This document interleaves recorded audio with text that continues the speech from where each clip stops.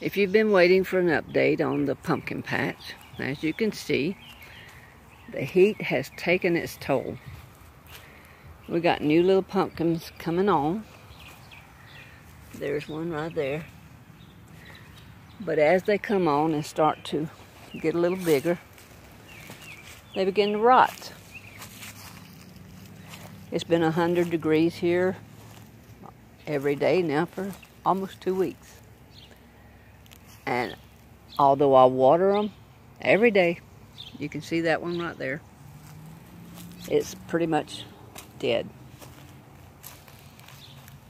Pretty much dead. It had pumpkin. It had a small pumpkin on it. And it just rotted. And as you can see, the soil is wet. There's no reason for it to be dead except it just couldn't handle the heat. Just could not handle the heat. The vines burst open. Never had one do that before. And remember the mystery pumpkin that they told me was a um, butternut? Well, there was another one. And the master gardener said there was probably only one seed in that whole batch of seeds I ordered from Baker Creek. Well, as you can see, that vine right there looks just like this vine right here that's making butternut. And these two are not even fully grown and they're already beginning to turn yellow and I figure that's from the heat. Uh, and my Hubbards, I don't know if they'll ever make it to be as big as they would have. If not, if this 100 degree heat wave we, and drought. It's not just a heat wave, we have a drought going on too. A severe drought at that. And the peanut pumpkins, that is probably as big as that one was going to get. And the nice large one that we had, oh, let me see if I can find it. Yeah, right here. That's as, that's probably as big as that one's going to get. The vines just can't take it. They're not ravaged by vine borers. It's just this heat. It's, it's awful. I've never seen a hotter May in my 68 years. And as you can see, this vine here is dying and it's got a nice little hubbard on it. And I, I wondered, could I take this hubbard off now and actually cure it and keep it or will it rot? I don't know. I've never had to pull one before it was grown, a mature pumpkin. So I, I don't know what to do. I don't know where to risk it just curing in the sun and and this Hubbard vine looks like it's rotting, dying. And they get watered every day, every day. Even water right here where they put down roots from the vines. The birds love it, the bees love it. Water, I always water after the flowers are closed up.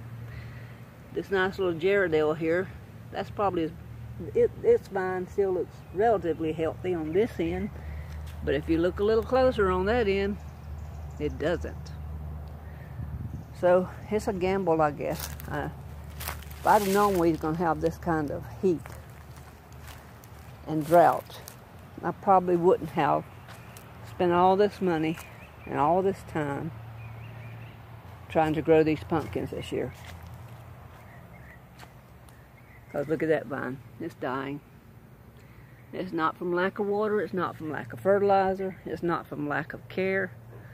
It's just dying. It, they can't stand the heat. Now, they like heat. Don't get me wrong. They like heat. But in May, 100 degree temperature, see how moist that dirt is? Look at that. It doesn't need any water. It's just as moist as it can be.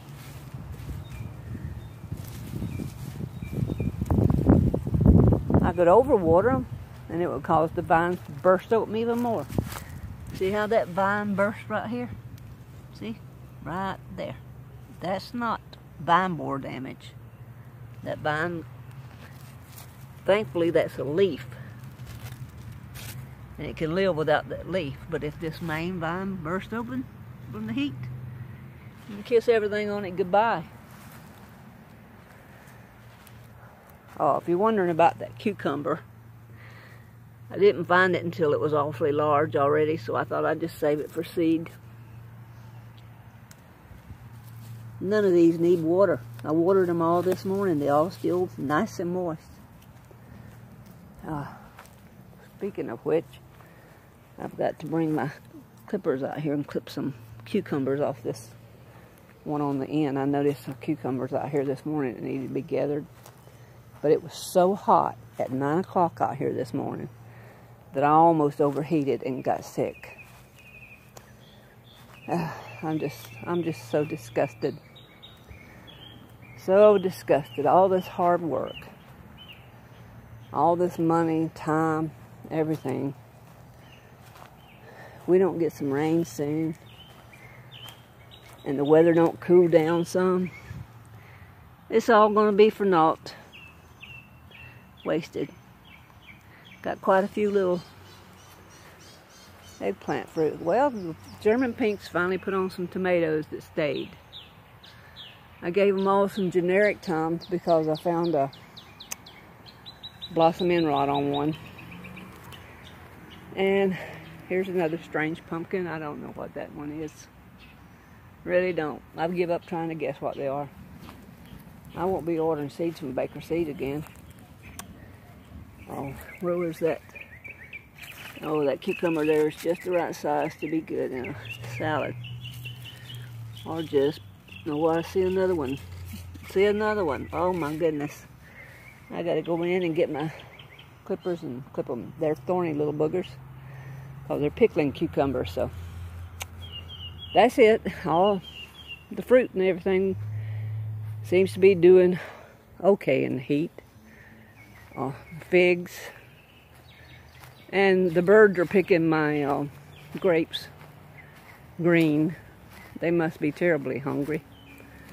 I put a bird bath out back so they could have water. Hey, it's thundering. We might get rain. And the birds are eating all the blueberries as they get ripe. So, no blueberries. And if they find this tomato before I, it ripens, they'll peck it too. But I'm sympathetic to the birds and I gave them some water. See, see the bird bath back there? I don't know if you can catch it on camera or not. But anyway, we may be getting a shower. And I thank God if we are. Praise the Lord. That's it for today. I would say what oh, what's his name did on Star Trek. Live long and prosper.